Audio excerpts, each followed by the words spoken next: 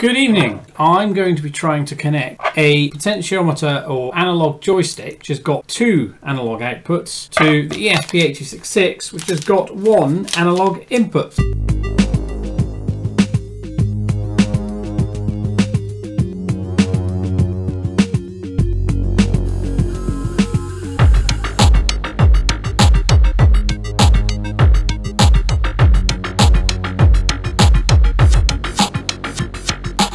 So why am I doing this? I had an idea a while ago that I'd try and make a controller using an ESP8266. So I had a Wi-Fi controller.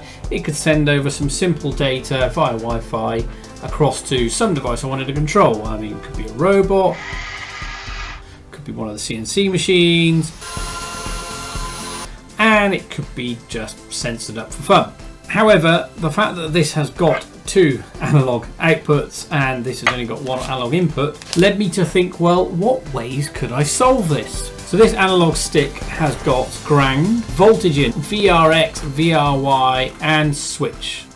VRX and VRY are going to be variable resistors between the ground and the voltage you put in. I had a bunch of ideas on how I could solve it First thing is is slightly more expensive, more advanced the ESP32 and that's got many many ADC channels so that's one possibility. It may consume more power so I'm not sure that would be my first option. So the next option, you can kind of make your own ADCs if you do stuff using a waveform generator with a sawtooth, some uh, shift registers, you do a PWM comparison so you can tell the off time to on time. This is just really complicated and frankly quite slow way to get yourself an extra ADC. You could then, the other option is to use an Arduino or just a bare 328 or even an ATtiny. So you could connect it to the stick and then you've actually got an analog stick that you're driving over I2C. It's kind of a nice option option, but then you'd also have to have code you put onto the ATtiny. So you could maybe put an ATtiny, you'd almost solder right onto those pins and it would work. So I'm going to try another option, and I think it's the simplest, which is actually you might be able to do this with two transistors. The simple theory of operation. You take each of the two outputs, you pass them through the collector of the transistor, so I'm just talking simple bipolar junction transistor. So you turn on one transistor at one time, the other transistor at the other time, so use two digital IOs to turn on the bases of one of the transistors at a time, and the analog signal is able to flow through the transistor down to the IO pin. I think this will work. I can't see a good reason it won't work. Uh, there may be something about current flowing and so on, especially when you bring the joystick down to lower levels. So I think we're going to have to experiment, try this out, and see if it really works. So I have a bunch of kit here. I've got a nice fresh NodeMCU and here is a bag of pretty generic and some of them pretty crusty NPN transistors. Some of these are ancient. I mean some of them are sort of older than my children and uh, maybe as uh, I've had them around since I was a child and started playing with electronics. Let's see what we can find, if we can find at least two with the same markings on them. So what have we got? Two sets of the same kind of they are pretty crusty. So I'm gonna go with my multimeter in what I hope is a diode test mode and see if any of these are alive. Now the only problem is is these are really old and I think I suspect I've pulled them out of radios and stuff when I was a kid. So also their ends are quite corroded. I only need two. We should get something if we connect the emitter. Oh huh, close enough to the same thing. Right so this one, yeah, that one's dead. Yes, the only way to be really certain is to try building something with them. So let's see, let's see if we can get them into breadboards. Oh, those breadboard up rather nicely actually. I don't know if I'm going to get good contact, but got two transistors straight away, an LED and some resistors. Give myself a power supply, 3 volts and ground. Power supply is just fine. The emitter across there. Collector taking this path down here should now be off. And then if I take the base, bring the base high, I made a fairly classic mistake. This wasn't doing what I wanted to do because I was looking at the pins, the uh, pin pinouts for this, the wrong way up. This should be nice and sensitive enough for me to just touch that and there we go. Or if I go and connect it across here.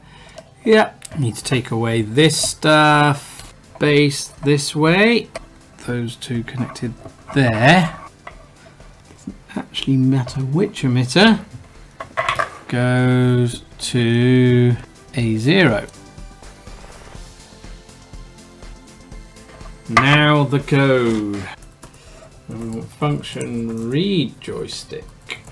So this should be a matter of doing. Write read x high. Analog read. I'll have to figure out what the real words for those are. Zero dot write x low y adc dot read.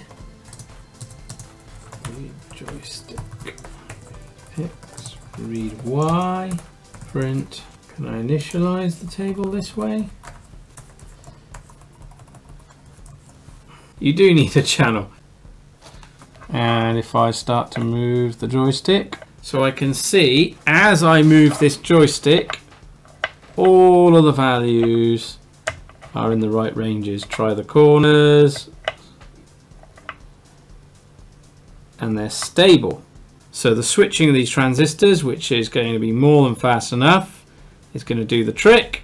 And it's going to be providing the analog output from here. I'm kind of happy with that. The code for this will be on GitHub. I will also make sure I've got some nice high resolution pictures of the breadboard. And I think in terms of the transistor, it looks like any NPN transistor will do if they're in this TO92 case. I've not been particularly picky. I grabbed some out of a bag that I'd pulled out of some 80s bit of electronics way back when. I've opened up my videos to allow translations and transcriptions uh, and there will be a link down in the script description on how to contribute translations and transcriptions please in your local language. If you've enjoyed this please give me a like Please comment below if you've got any other ideas and things I could try and experiments I could do. Please share this if you know there are people who are interested or people who are kind of struggling trying to get more inputs and going, what do I do? Not enough analog input. And uh, if you want to see more videos like this, I've got a number of other ESP8266 videos and microcontroller videos where I have lots of fun building stuff with these. Please subscribe. Uh, the focus of the videos, if you subscribe, are going to be electronics and robotics, code, occasionally Lego, and some CNC. Right, so goodbye, go make stuff and be awesome. Bye!